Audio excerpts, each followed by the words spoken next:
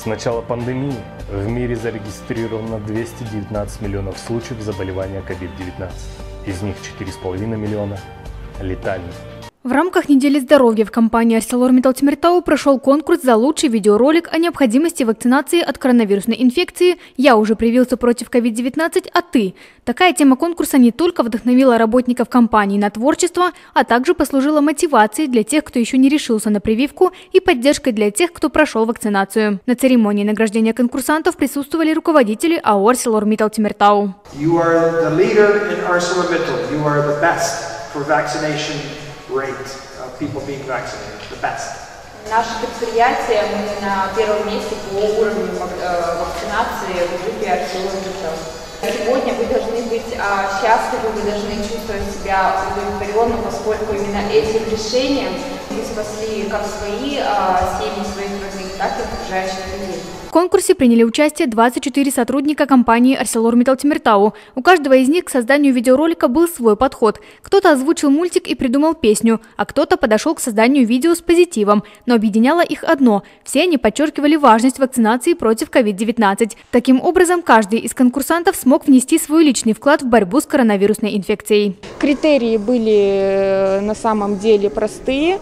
Э, во-первых, это непродолжительность э, самого видеоролика.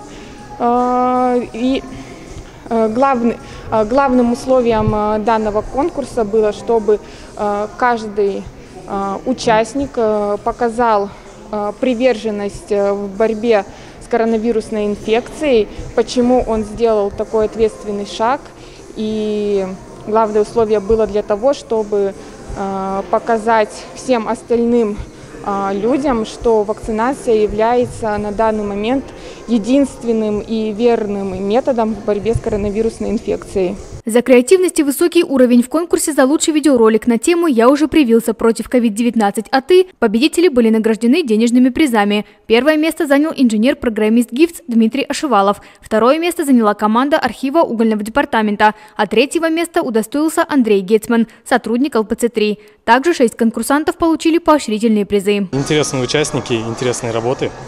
А, у людей разные идеи, Э, мне понравилось, что у нас настолько разносторонние люди. Кто-то мультик озвучил, кто-то просто в цеху записывал. То есть здорово и классно. Конечно, хотелось бы выразить благодарность э, руководству ArcelorMittal за то, что делает такие, организует такие э, мотивационные, информационно-просветительные мероприятия, которые подчеркивают значимость здоровья в жизни каждого человека.